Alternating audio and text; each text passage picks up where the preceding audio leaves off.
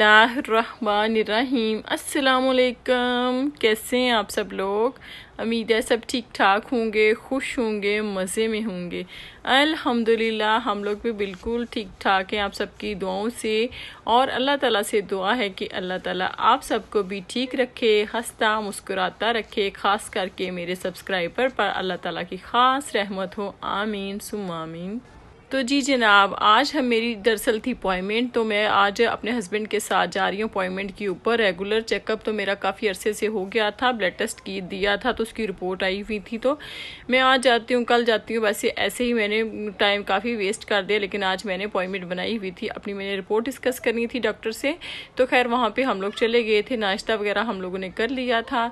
तो यहाँ पर आ गया मेरे डॉक्टर का ऑफ़िस मैं हॉस्पिटल में नहीं जाती, मेरा यहाँ पे प्राइमरी डॉक्टर है तो वही उसी कई क्लिनिक में जाती हूँ। तो यहाँ पे मैं अपनी रिपोर्ट आज डिस्कस करूँगी अपनी डॉक्टर के साथ। है एक्चुअली मेरी जो अपॉइंटमेंट थी ना, वो साढ़े दस बजे की थी। तो आते आते हमें ग्यारह बज के घर से निकलते निकलते क्योंकि आपको पता है खुद नाश्ता करो हस्बैंड को नाश्ता करवाओ, बच्चों को देखो फिर उनको नाश्ते के लिए बोलो, करवाओ। तो ऐसा करते करते काफ़ी टाइम हो गया। जब मैं यहाँ पे पहुँची तो काफ़ी रश हो गया था। रश तो खैर इतना नहीं था, लेकिन डॉक्टर भी आ चुकी थी। ज़ाहिर है, हर मरीज़ के हिसाब से वो लेती हैं तो मुझे यहाँ पे तकरीबन दो घंटे से ज़्यादा टाइम हो गया था। दो घंटे के बाद फिर मेरी बारी आई तो खैर डिस्कस करके मैंने तो हम लोग फिर वापस घर आ गए।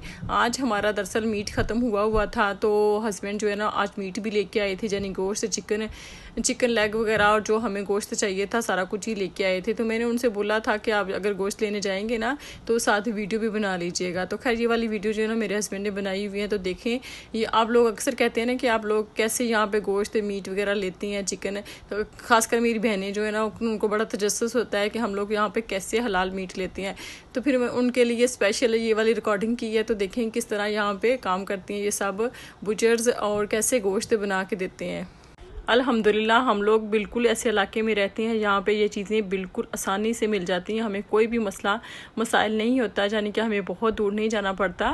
बिल्कुल हमारे करीब ही फोस्टर एवेन्यू है, वहाँ पे काफ़ी सारी हमें हलाल मीट की शॉप्स मिल जाती हैं, स्टोर मिल जाते हैं। यहाँ पर ये लोग जो है ना बड़े बड़े फार्मों से लेके आते हैं, गोश्त और बकरे का, और मीट, मटन और बीफ, ये सारी चीज़ें जो है ना बड़े बड़े फार्मों से लेके आती हैं, और वहाँ से ये ज़िबा करती हैं, बिल्कुल बाकायदा तरीके से और फिर उनकी खाल उतार के ऐसे ही फुल बकरियाँ ले आती हैं और फ्रीज़र बड़े बड़े फ्रीज़र होते हैं वहाँ पर रखती हैं और फिर जब कस्टमर आपसे लेने के लिए जाता है उनसे तो उसी हिसाब से उसके, के लिए वो ऐसे ही बोटियाँ बना के देते हैं जैसे कस्टमर को चाहिए होती हैं। साथ साथ आप लोग मेरी वीडियो इन्जॉय करें और साथ साथ आप लोगों से छोटी सी रिक्वेस्ट भी है कि अगर आप लोग मेरे चैनल पे नए हैं तो प्लीज़ मेरे चैनल को सब्सक्राइब करें लाइक करें कमेंट करें और इस वीडियो को ज़्यादा से ज़्यादा शेयर करें। मुझे आपके फीडबैक का हमेशा इंतज़ार रहेगा।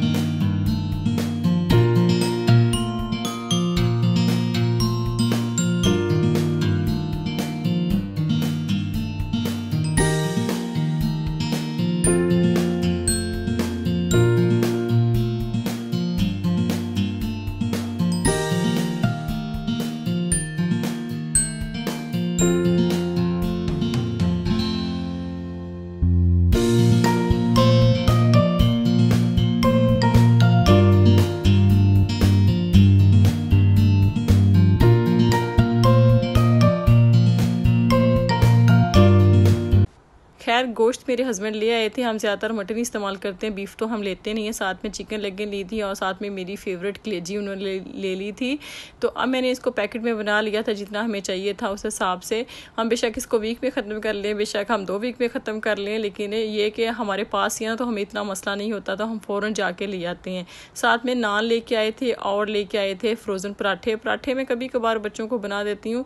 जब कभी मैं मेरा मूड ना हो रोटी बनाने का और नान भी बच्चे शौक से खाते हैं तो कभी कभार ऐसी चीज़ें चीज़ें फ्रिज में पड़ी होती हैं कि ज़रूरत के तहत हम फ़ौरन से निकाल के उसको बना लें। तो माशाल्लाह से माशाल्लाह से मेरी फ्रिज पहले से ही भरी हुई है, गोश्त पहले से भी मौजूद था थोड़ा सा चिकन का और कीमा भी ऑलरेडी था तो मैंने कहा इतना ही इनफ है। तो माशाला से माशाला से हम इसको पहले कंप्लीट करेंगे, इसको पहले ख़त्म करेंगे और फिर नया लेके आएँगे। ऐसा था कि डॉक्टर पे मुझे काफ़ी टाइम लग गया था तो भूख भी लगी हुई थी तो खैर लंच हमने उधर से ही कर लिया था और बच्चों के लिए लेके आ गए थे। तो अब है शाम का टाइम और बच्चे स्नैक मांग रहे थे तो मैंने कहा इनके लिए फ़्रूट काट देती हूँ। फ्रूट से बेस्ट कोई भी चीज़ नहीं है। तो खैर ये मैंने उन बच्चों को काट के दिया, साथ ही में अब शाम होने वाली थी तो लंच तो हमने खैर दोपहर में होटल से ही ला के कर लिया था। तो अब मैंने बनाई थी प्याज वाली भिंडी, काफ़ी सारे इसके अंदर मैंने प्याज डाले थे। फ़र्स्ट टाइम मैंने प्याज डाले थे, इसके अंदर ऊपर से और और साथ में मैंने बनाई थी दूध वाली सवैयाँ। दूध वाली सवैयाँ जो है ना, वो सैन, हुसैन को बहुत पसंद है, उनकी फेवरेट हैं। तो खैर, उनको गर्म गर्म ही अच्छी लगती हैं। फ्रिज में रखी हुई बिल्कुल उनको पसंद नहीं है। तो साथ में मैंने बनाई हुई थी भिंडी। भिंडी के ऊपर मैंने काफ़ी प्याज डाला था। बच्चों ने तो खैर खूब इंजॉय करके खाई, लेकिन हुसैन को इतनी पसंद नहीं आई थी। वो कहते थे, ऊपर से प्याज क्यों डाला है? मैंने फ़र्स्ट टाइम ऐसे डाला था, लेकिन उनको बिल्कुल भी अच्छी नहीं लगी। तो खैर, इसके बाद मैं साथ ही बना रही थी रोटियाँ और मैंने कहा, जल्दी से खा लें और चलती हैं पार्क, क्योंकि काफ़ी दिनों से हम लोग ना पार्क भी नहीं गए थे।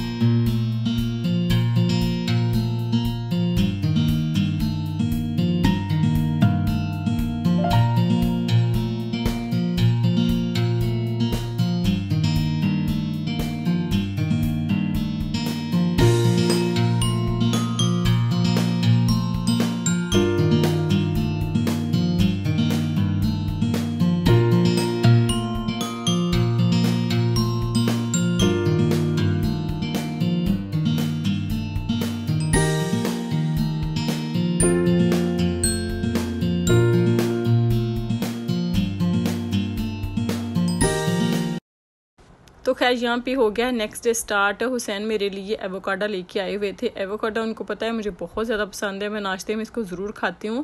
आप लोगों को भी थोड़ी सी आदत डेवलप करनी चाहिए कि इन लोगों को नहीं पसंद है कि इन लोगों को बहुत पसंद होते हैं मेरी तरह। तो खैर, मैं किसी को ये नहीं ज़ोर दे रही कि वो लाजमी खाएँ, लेकिन कोशिश करें कि इसको अपनी डाइट में इस्तेमाल लाजमी करें। इसके अंदर बहुत ज़्यादा बेनिफिट है। लॉट ऑफ़ पोटेशियम है विटामिन है मिनरल्स हैं और बहुत ज़्यादा आयरन इसके अंदर होता है। तो लीजिए, आपसे बातों ही बातों में मेरा जो नाश्ता है माशाल्लाह से रेडी है। आज मैं नाश्ते में क्या खा रही हूँ? दो एग्स ले रही हूँ और साथ में मैंने एवोकाडा हाफ़ लिया है। साथ में स्टीम वेजिटेबल ली है और एक स्लाइस ब्रेड का लिया है। ब्रेड मैं आपके साथ शेयर करती हूँ कि मैं आजकल कौन सी ब्रेड खा रही हूँ। ये बहुत यमी और टेस्टी प्रोटीन ब्रेड है। मैं इस ब्रेड की कोई भी एडवर्टाइजमेंट नहीं कर रही जस्ट आप लोगों के साथ शेयर कर रही हूँ कि ये देखिए, इसके अंदर बहुत थोड़ा कार्ब है और बहुत ही ज़्यादा इसके अंदर प्रोटीन है और जो लोग डाइट करना चाहती हैं जो डाइट कॉन्शियस है, उनके लिए ये बेस्ट इन ब्रेड है। तो आप ज़रूर ट्राई कीजिएगा, ये वाली ब्रेड बहुत ही अच्छी है। तो खैर, नाश्ता हम लोगों ने कर लिया था तो उसके बाद ऐसा था कि आज थी मान की भी अपॉइंटमेंट आजकल अपॉइंटमेंटों का सिलसिला जारी है, क्योंकि बच्चे स्कूल जाने वाले हैं तो मेरा दिल है कि जल्दी जल्दी से इनकी ना सारी रिपोर्ट्स वो ड्यू हूँ, क्योंकि फिर हमें कल को परेशानी ना हो। आजकल में हफ़्ते के बाद जो ना, वो स्कूल खुलने वाले हैं। तो आज मान का भी ब्लड टेस्ट था तो खैर, उसको तो नाश्ता नहीं करना था। नहार पेट ही ब्लड टेस्ट देना होता है। यहाँ पर आपको एवरी सिक्स मंथ के बाद या फिर साल के बाद आप लोगों का लाजमी ब्लड टेस्ट होता है। आप बेशक कराएँ, बेशक ना करवाएँ। आपके घर में कॉल आ जाती है कि आपका ब्लड टेस्ट ड्यू है। तो खैर, हमें देना पड़ता है। यहाँ पे मैं आपको एक बात और भी शेयर करती चाहूँ कि यहाँ पे हमारा जो मेडिकल है, बिल्कुल फ्री होता है। जिस तरह हमारी स्कूलिंग फ्री है, इस तरह हमारा मेडिकल भी फ्री है। और इसके अलावा भी कई बेनिफिट हम लोगों को यहाँ पर मिलते हैं। अगर आप लोग चाहते हैं कि मैं आपको साथ वो सारी तफसील शेयर करूँ तो आप प्लीज़ कमेंट बॉक्स में मुझे लाजमी बताइएगा। फिर मैं आपके साथ शेयर करूँगी, हमें कौन कौन से यहाँ पे बेनिफिट मिलते हैं। अमेरिकन सिटीज़न को कौन कौन से बेनिफिट मिलते हैं? और उसके ऊपर मैं एक तफसील से वीडियो बना दूँगी ईमान का ब्लड टेस्ट देने के बाद, खैर, हम लोग तो आ गए थे घर और घर अभी लंच बनने में टाइम था और मास्क कुछ खाने को मांग रहा था तो कभी कहता है मुझे पराठा दें, कभी कहता है मुझे कुछ दें तो खैर, मैंने कहा, मेरे जेन में एक आइडिया है कि ये खाएगा कुछ भी नहीं तो मैंने पराठा भी बना दिया, साथ में लेफ़्ट ओवर कल के कबाब थे, वो भी डाल दिया और साथ में मैंने इसको केवी भी काट ली। और मज़े की बात यह कि मैं वो पराठे की फरमाइश मेरे से कर रहा था, लेकिन उसने पराठा छोड़ दिया और कबाब और केवी खा लिए। मेरा कहने का ये मतलब बिल्कुल नहीं आपको दिखाने का जस्ट एक ही मकसद है कि आप भी बच्चों को अपने बच्चों को ऐसे तरतीब के साथ प्लेट बना के देंगे तो आपका बच्चा कुछ ना कुछ इसमें से पिक कर लेगा और कुछ ना कुछ लाजमी खाएगा। ज़रूरी नहीं कि आप लोग ये वाली चीज़ें दें आपके घर में सालन जस्ट सालन रोटी है तो आप उसके साथ उसको थोड़ी सी वेजिटेबल दे दें, सलाद दे दें थोड़ा सा दही दे दें साथ में तो रोटी दे दें, रोटी को थोड़ी सी शेप दे दें और सालन दे दें तो कुछ ना कुछ आपका बच्चा ज़रूर पिक करेगा, कुछ ना कुछ लाजमी खाएगा। इस तरह आपके बच्चे का पेट भी फुल रहेगा और उसको हेल्दी चीज़ें भी उसके पेट के अंदर जाएँगी। यहाँ पे शाम का टाइम और हम लोग अब आ गए हैं बाहर। मेरा आज बिल्कुल भी दिन नहीं था बाहर जाने का, लेकिन बच्चे कहाँ मारने वाले हैं? घर पे ही सारा दिन रहती हैं, फिर लैपटॉप आईपैडों के ऊपर मुख्तलिफ़ गेम्स खेलते रहते हैं सारा दिन। तो उन्होंने कब से शोर मचाया हुआ था कि मम्मा बाहर चलें। शाम होने वाली थी, मेरा बिल्कुल भी दिल नहीं था, लेकिन फिर बच्चों के मजबूर करने पर मैं आ गई थी बाहर। कोई ख़ास काम भी नहीं था जस्ट हमने कहा, चलो वॉक कर लेती हैं, बच्चे भी खुश हो जाएँगे। तो हमने कहा, क्यों ना आज नाइन्टी स्टोर के ऊपर जाया जाए? मेरे बच्चों का फेवरेट थी स्टोर नाइन्टी स्टोर है। नाइन्टी स्टोर स्टोर के ऊपर अक्सर बेशतर हम लोग वीक में एक दफ़ा तो लाजमी जाते हैं। नाइन्टी नाइन स्टोर जो है ना, दरअसल चाइनीज़ के स्टोर हैं और यहाँ पे अमेरिका में बहुत ज़्यादा चाइनीज़ के ये वाले नाइन्टी नाइन स्टोर यानी कि डॉलर स्टोर हैं। यहाँ पे आपको डॉलर की चीज़ से लेकर एक्सपेंसिव चीज़ भी मिल जाती है, लेकिन ज़रूरत की हर चीज़ मिल जाती है। यहाँ तक कि आपको रोज़मर्रा के बर्तन, शर्तन, ये, वो, सारा कुछ एवरीथिंग मिल जाता है और आपको कहीं और जाने की ज़रूरत भी नहीं होती। तो खैर, हम लोग भी यहाँ पे आ गए हैं और ईमान हीरा अपने अपनी पसंद की चीज़ें ले रही हैं। यहाँ से कुछ ना कुछ उठाएँगे, बच्चे कुछ टॉयस उठाएगा, कोई खाने वाली चीज़ उठाएगा तो कुछ ना कुछ ये पिक कर लेंगे, क्योंकि बाहर आए हैं तो खाली हाथों हम लोगों ने जाना नहीं है।